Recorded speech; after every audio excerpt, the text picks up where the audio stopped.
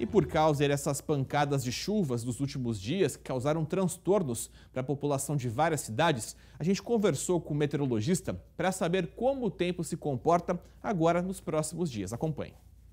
Nos próximos dias persistem ainda essas condições de temporais para as regiões de Araçatuba, Presidente Prudente e São José do Rio Preto.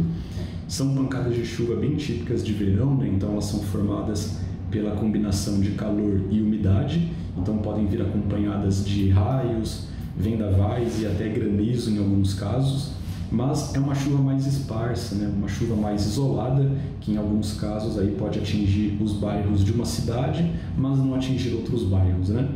Durante o fim de semana, e também até a segunda-feira essa chance de chuva ela diminui, então o calor vai ser mais intenso nesses dias, né, tanto no sábado como no domingo e também na segunda-feira. As temperaturas podem bater até 37 graus nas cidades aí do interior paulista. Então vem calor, calor por aí nos próximos dias.